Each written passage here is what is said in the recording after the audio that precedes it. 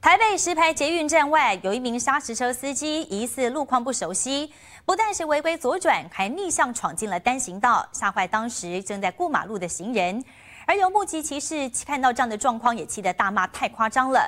虽然最后没有造成任何意外发生，但警方也将调阅监视器，将对这名驾驶开出三项违规罚单，罚金五千四百元。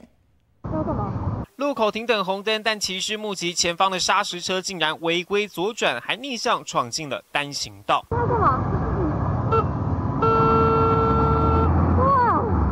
太夸张了吧！骑士按喇叭大声呵斥，但驾驶仿佛没听见，继续开。其他行人见状也吓了一大跳，频频回头张望，因为当时还有人走在斑马线上，差一点遭波及。除了闪避外，也想拿手机存证检举。哎，太夸张！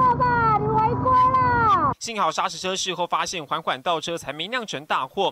台北捷运石牌站外有建筑工地正在盖大楼，这辆砂石车二十号下午三点多接连违规，目击骑士行车记录器没有拍到违规全程，担忧无法举发。但是警方调阅监视器后，决定对司机开举发单，违规左转、逆向行驶还不礼让行人，一共被罚五千四百元。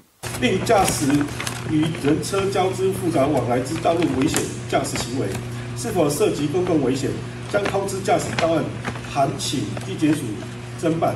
工地业者透露，砂石车司机不是当地人，当天是第一次到工地，不熟路况才会酿祸。虽然是司机个人行为，但已经告诫厂商不得再犯。毕竟违规在先，万一造成无辜民众受伤，恐怕不是罚钱就能了事。记者陈长林、招贤台北报道。